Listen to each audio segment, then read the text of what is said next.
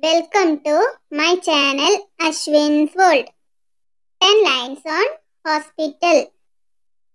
Hospital is a place where people go for medical treatment. Doctors and nurses work at hospitals. Having a hospital near is good for everyone. A general hospital is one capable of treating many diseases. Hospitals are dedicated to a specific disease. Government hospitals are free for common people and private one is highly expensive. A hospital always contains beds for patients. Hospitals have specialized machines and other equipments.